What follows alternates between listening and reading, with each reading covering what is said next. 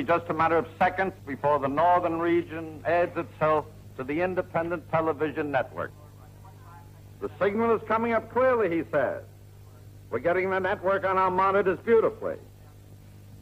The count will begin now. Nine, eight, seven, six, five, four, three.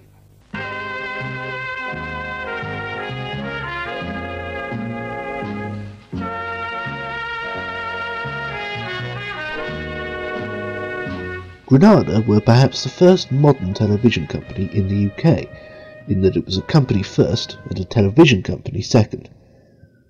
TV was just one of many pies into which it stuck its incredibly long fingers. Others included overpriced bacon sandwiches and the long forgotten industry of electronics rentals. The adverts for the latter rather ostentatiously promised great service and great sex which must have exhausted the late Kenneth MacDonald no end. Great service, great set, that's what you get from Granada. Better TV, that's why millions agree. Great Granada. Great service, great sets, that's Granada. And this combination of half-assed lip-syncing, character actor prostitution and gratuitously jiggling breasts was clearly a great success because there were loads of Granada rental shops when I was a kid. In fact, we had a Granada rental set in our house, which meant that our telly box had the same funny looking logo on it that half the programs had. This gave the tiny infant me the impression that the programs were made inside the box itself, by little Keebler elves wearing armbands emblazoned with that G arrow thing. No wonder I turned out the way I did. And it's a funny name as well. I mean, after nearly 60 years, it's unquestionably normal these days. Manchester, Liverpool, Bolton, Blackburn, Granada land. Fait accompli. But if you actually think about it, what on earth does Granada have to do with its location?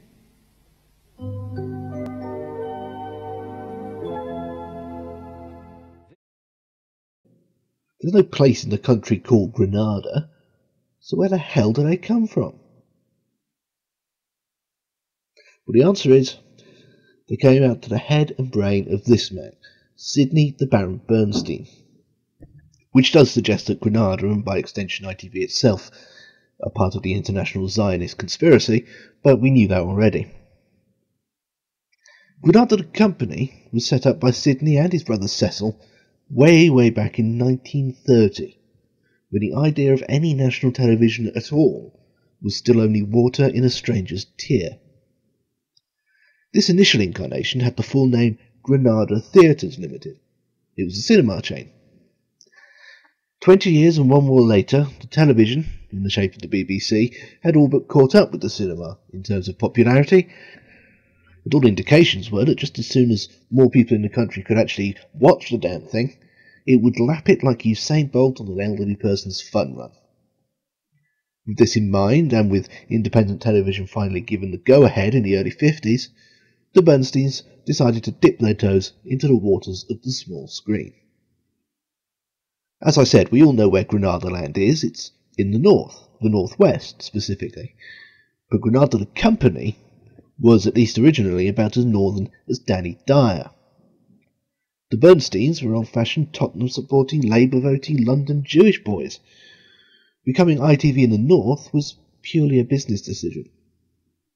The other two choices were London itself, which Granada passed on as soon as they saw their rival bids and clocked that they had no chance, and the Midlands, which I actively turned down on the grounds that the Midlands are boring. Apparently. So they took the North of England contract. At the time, that meant almost the entire top third of the nation, from Liverpool to Hull, and including all of Yorkshire. Let's not sell them too short, however. Unlike Carlton, or indeed their own future selves, Granada under the Bernsteins might have had a cavalier approach to choosing a region, but having picked one, they did at least cultivate a healthy respect for, and even liking of, the people who lived there, as opposed to blank disinterest at best and naked contempt at worst, as demonstrated in the 90s. and their initial branding and packaging demonstrated a distinctly northern outlook, from the proud if tautological slogan to the abundance of upward pointing arrows. Arrows would be a signature part of Granada's visual identity right up to the point when they deliberately divested themselves of one. At first, they didn't get the idea of linking the arrow with the letter G, but they made up for that with some rather trendy pop artish lettering.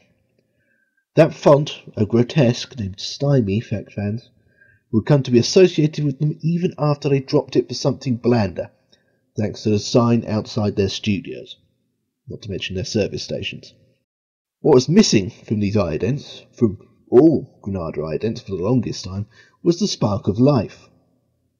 Oh, occasionally they'd move, but there was never any sound.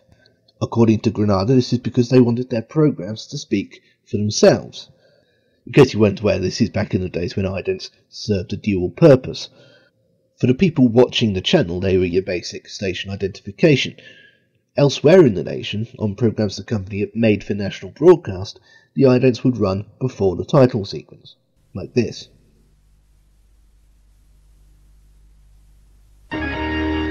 Sometimes they'd even incorporate the ident into the titles themselves. This practice was largely abandoned in the mid 80s with the rise of independent production companies, but this is why, on repeats of Coronation Street from before 1985 or so, you tend to start with a couple of seconds of the theme tune playing over a blank screen. That's where the old Granada Presents caption would have gone, unmoving and in its own right, silent. Not that Granada didn't know how to have fun, in fact, it was probably the most relaxed out of the four ITV launch companies. It even embraced the swinging 60s. You're looking in on Channel 9, Granada. That thing served partly to introduce the new and now iconic arrowed G logo, which I spent many a morning of sums related drudgery trying to draw, although I never managed it. They adopted the logo in 1968 to celebrate retaining the franchise. They did lose Yorkshire, which got its own service, but to make up for it, they became a seven day station for the first time, after 12 years of ABC at the weekends. Don't worry, we'll get back to ABC later in the series. The Arrow G would remain for the rest of the Granada brand's natural life, only being dropped in the mid aughties long after the point where it mattered anymore. Fortunately, despite the reduced territory, they resisted the temptation to have the arrow bend and point to the left because that would look silly. As it was, it was sharp, modern, and even dynamic, at least in theory. I say that because in practice, it still didn't do anything. From the late 60s right through the 70s and on into the 80s, the logo and name would just fade in, wait for the continuity announcer to do their thing, if they hadn't already, and then fade out again silent and unchanging the whole time. To be fair to them, this did tie in with the regional identity. After all, it's grim up north. Alright, I'm being unfair. I'm making Granada sound like a stone faced, coal fired, slate grey carnival of frowning just because its ident didn't move. But of course, this was back in the days where the ident was only half of the station's presentation.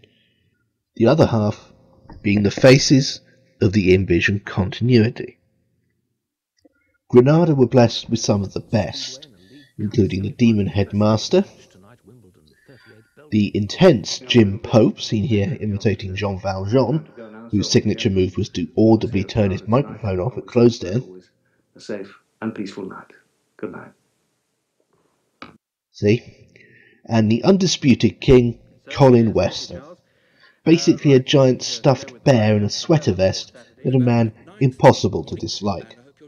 Seriously, if he gave a Nazi salute on air, you would just chortle gently. Although I feel I must make it clear that giving a Nazi salute is something he would never have done. Granada never had an equivalent of Gus Honeybun, but with Colin around, they didn't need one. He was Gus and Ian Stirling all rolled into one. And Granada kept faith with IVC for longer than almost anyone, with Colin and Friends still live and visible and introducing programming as late as 1996. Well, then on Wednesday night, more period drama with Sharpe at 8, and Thursday sees more zany and rich owners of, I must admit. So just because they were in the north didn't mean they couldn't have fun. Particularly at Christmas, when they pull all the stops out. They'd even have their logo move about a bit. Alright, so there was still no music, but look, animation! This one's from 1983. Note the freshly minted CGI logo. That would soon be pressed into service in the normal ident as Granada's only sop to the Channel 4 influence wave of computer generated presentation. You don't need no bloody objects flying through space up here. You got name and a logo, and that's enough for us. Granada always excelled at festive presentation, which many companies didn't bother with at all. Although, to be fair, that was generally because they couldn't afford to. A problem that was never likely to affect Granada in the slightest. By the 80s, they were the last survivor of the original four franchisees, the elder statesmen of ITV, and not coincidentally, the company behind its biggest program. How Coronation Street has survived 60 years with such a depressing theme tune is beyond me.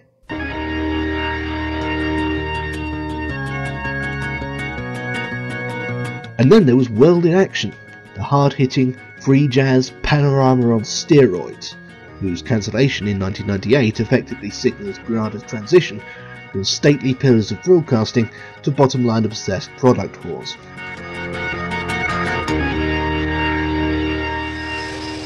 And since they made World in Action, it also follows that they're responsible for the legendary Up documentaries. And don't forget Brideshead Revisited, The Jewel in the Crown, the Jeremy Brett Sherlock Holmes series. They didn't quite have the legacy of a Thames or an ATV in terms of sheer numbers, they made up for it in density. With a portfolio like that, they hardly needed moving idents. They were Granada. Their still and silent idents were the TV equivalent of Superman staring you down with his arms crossed. Over the course of 20 years since the Arrow G's introduction, the ident only changed in the simplest ways, going blue and yellow instead of black and white, and uh, at one point redrawing the logo to make it a bit more short and squat. Still, there was the odd special occasion, like anniversaries.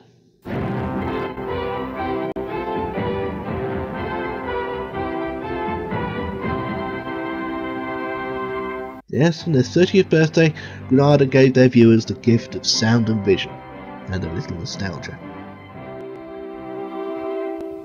Although this would seem to be a perfect mid 80s ident, it turned out only to be a temporary gift, like one of those plastic cards you buy at the supermarket for clothes stores and the like, which are basically the equivalent of saying you have no idea what someone wants except in the most general sense, and quite frankly, you've given up trying. Where was I? Oh yes, after the anniversary celebrations, it was straight back to the northern austerity, albeit with a fresh coating of bling. And even that seemed to be a little unpalatable as the chunky gold lettering was toned down to a more stately silver. Unless that's supposed to be platinum, in which case they've actually traded up. But apart from the occasional seasonal variation, which seemed to appear out of sheer boredom, this one denotes spring, branding in Granada was pretty much the same as it ever was. Until 1989.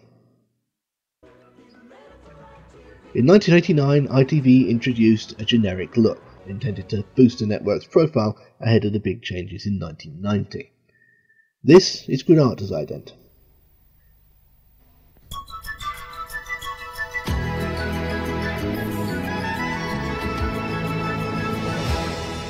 Or it would have been. In the event, Granada, like TSW, rejected the imposition. Ironic, really, given that ten years later they would own half the network and be behind the next attempt at this sort of thing. But at this point, however, they were still proud of being Granada, and felt they had too distinct and powerful an identity to throw it away for some dream of homogeneousness. It surely didn't help that whoever designed this thing completely messed up Granada's version of the ident. Even at the age of five, doodling the Granada logo instead of doing sums, I'd know better than to leave off the vertical line under the arrow. It's not an accent. I've complimented the 1989 ITV generic look, but it did have one fundamental problem, and that was its insistence basing itself around that little triangle at the end. That wasn't going to work with every logo. We've seen two so far, and neither was a great fit, and we're going to see more. This ident may not have been transmitted, at least not in this form, but it did throw into sharp relief the fact that the Granada idents were a bit boring especially in 1989, when everyone else on ITV was flinging metallic chunks of CGI through existential voids to form inscrutable icons. Even channel television had a computer generated animation by now, for heaven's sake. Perhaps recognizing this and also wanting to really insist on their own identity in the face of the generic invasion, Granada made their biggest change ever. Welcome to the new school. They still pointedly eschewed the actual current vogue, however. It's resolutely two dimensional, low key, and even shy, with the scudding clouds and the translucent G rather painfully resized out of its normal proportion. The focus on granite grey skies was not only appropriate for the area, considering the natural climate of the northwest of England, but also perfect for those occasions when you really want to compromise with ITV.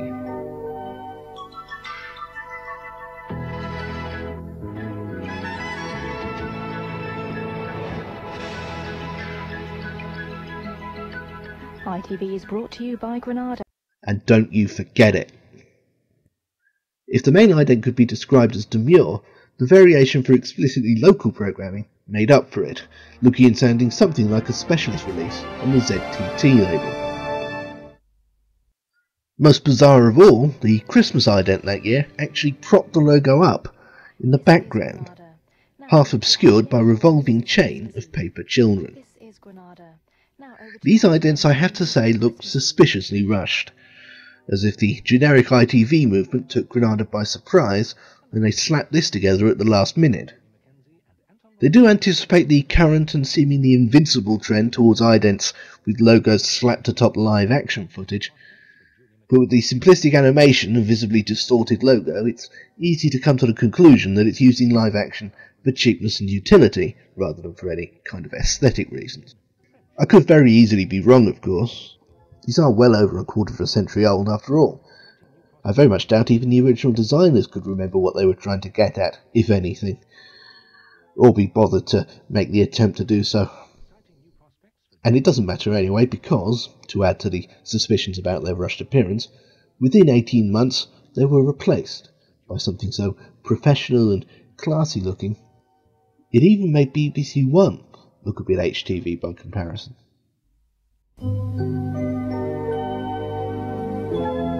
The Stripe, as it was nicknamed for obvious reasons, may not be the most exciting ident ever made, but it's a design classic.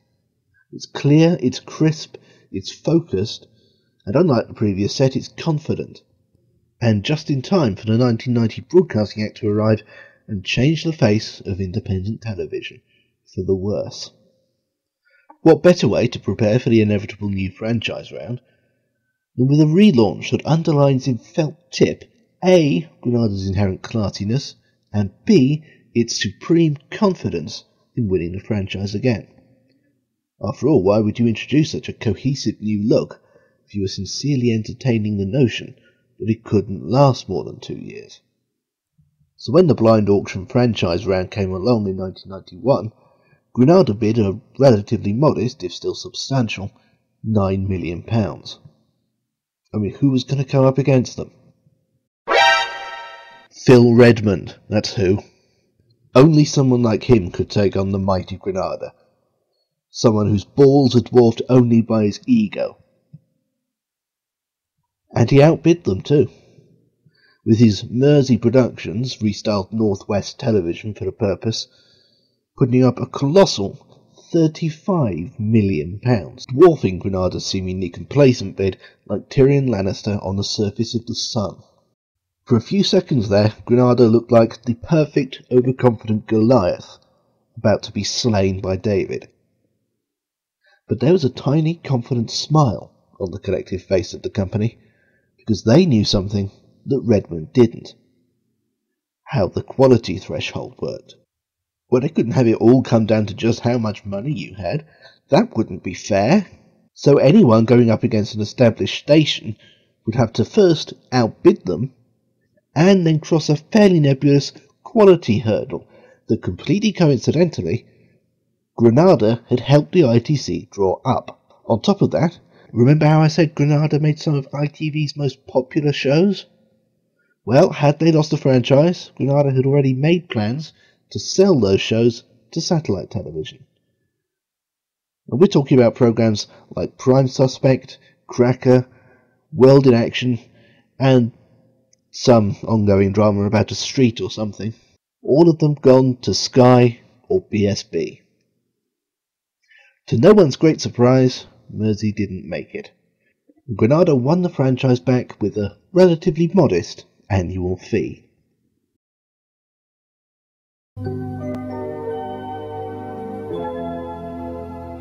Over the next few years, Stripesy would be refined and versioned to within an inch of its life. Not that it had a life, it's a computer generated drawing of a perpendicular blue oblong, enclosing a stylized uppercase G.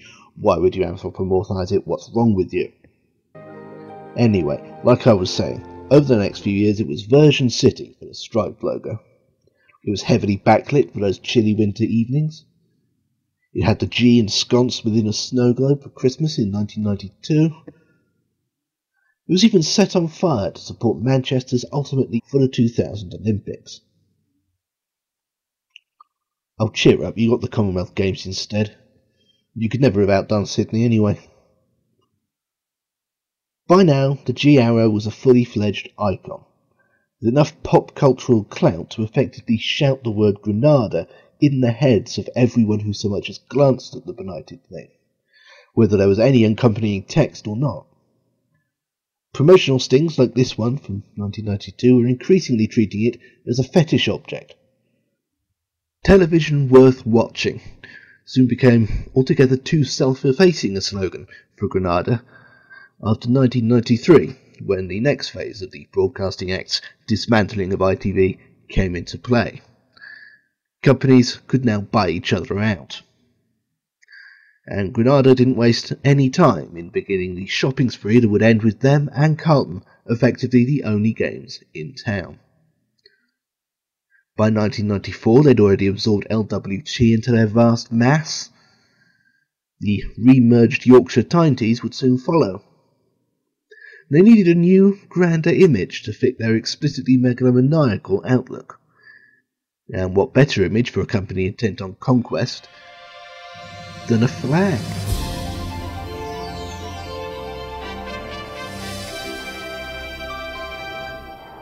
Designed, produced, directed, probably catered by the pop art legend Peter Phillips, suddenly Granada were leading the Cultural Revolution. No longer were they merely making television worth gawping listlessly at while you scoop spoonfuls of mushy peas into your chops. Now they were setting the standard. The standard for what I leave to your rapier wit, but it can't be denied that this newly bullish image was reflected in Granada's actions at the time, as they ultimately scooped up even more ITV franchises than Carlton. Technically, these were created as promotional stings rather than idents, but they were still used as such on occasion, usually before the news or local programming. Can you imagine if we were still using Granada Presents captions and Coronation Street was preceded by this?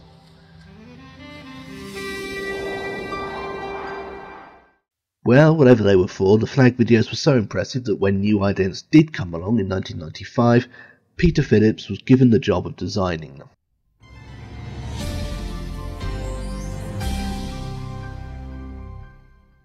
At first glance, this looks like the usual computer generated Channel 4 frippery. But then you realise that this is just a tad on the detailed side for 1995 computer graphics. That's because it's not or at least the logo isn't. The stripe and the vague floaty backdrop are, but the G is a Perspex model made by Phillips and shot in camera, multiple times composited together and chroma keyed onto the CGI backdrop to create an ident good enough to eat.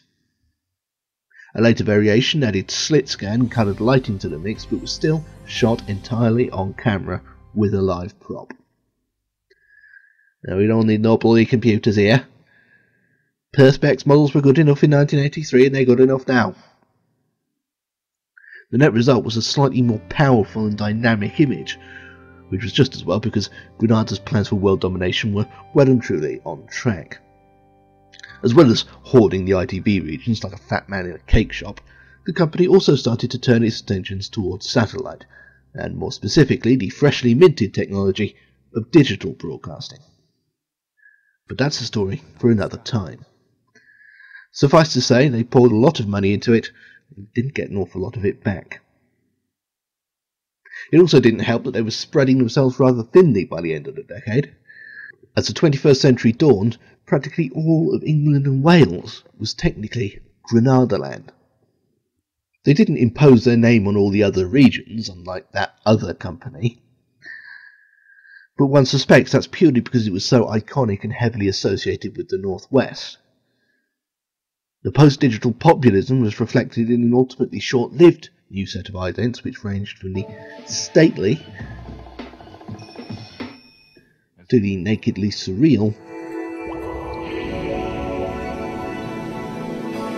and the downright creepy. But these had the unfortunate status of having been introduced in 1999, which meant that mere months later,